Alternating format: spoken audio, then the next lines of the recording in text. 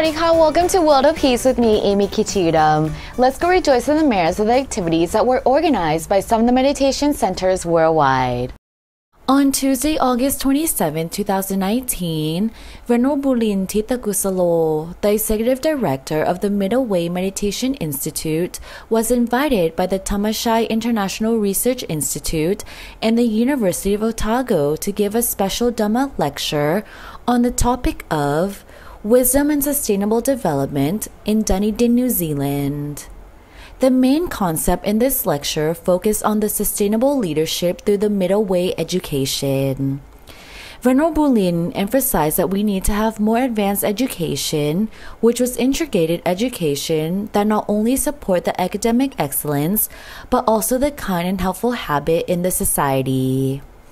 The Middle Way Meditation Institute, the Dhammachai International Research Institute, and the University of Otago together arranged the Otago Light of Peace ceremony to celebrate the 150th foundation anniversary of the University of Otago, which is the first university in New Zealand. There were about 80 locals that came to take part in this event. All of them meditated together on the yard in front of the clock tower at the University of Otago. The participants turned on 150 peace balls and made wishes together for peace around New Zealand and the world. Wat Phra Dhammakaya Scotland organizes the Wednesday meditation class regularly. On the evening of September 4th, 2019, there were a total of 17 people that joined the class that was held at the Hillhead Library in Glasgow.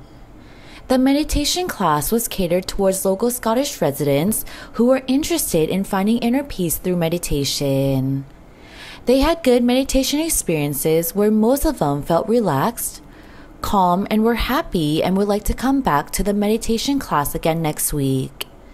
For more information, please contact Wat Phra Dhammakaya Scotland at plus 44 1436 676 024. Wat Phra Dhammakaya Johannesburg held an English meditation class on Sunday, September 1st, 2019. Before the class started, the teaching monk introduced himself and showed a video about the history of Luang Por Dhammajayo. After that, he started the meditation session by introducing them to relaxation exercises and then told them about the importance of the mind and how to take care of it. The class then spent 30 minutes meditating and everyone successfully completed it. After the meditation session, they felt calm and peaceful and they got to share their meditation experiences.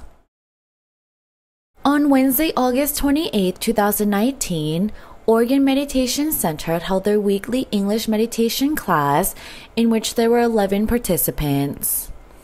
After stretching exercise, everyone watched the video about changing what you know about living in the present, and then read Luang Por Dhammajayo's teachings from the Paipo book on the topic of loosen up your mind. Then the teaching monk guided everyone in a peaceful meditation for 40 minutes. The activity ended with a question and answer session for giving participants more tips to overcome the obstacles of stilling the mind.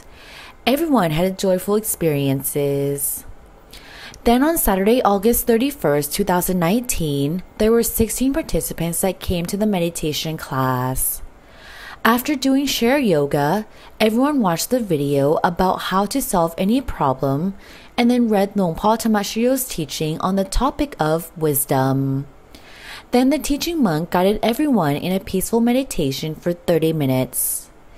Afterwards, the participants shared their meditation experiences where they felt calm and relaxed.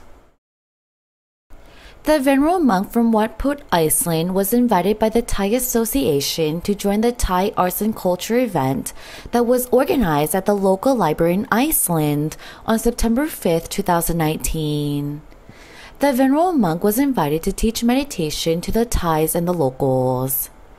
Buddhism is one of the most important aspects in the Thai culture, so it was great to spread some knowledge about Buddhism to the locals. Not only did they gain knowledge about Buddhism, but the attendees got a chance to practice meditation as well. It's always great to see locals coming together to learn about Buddhism and practice meditation. And that's all the time we have for this week. And don't forget to keep preserving your precepts, practice the act of giving, and meditate as we finish off the Buddhist Lent for this year. And I will see you again next week here on World of Peace. Swadika.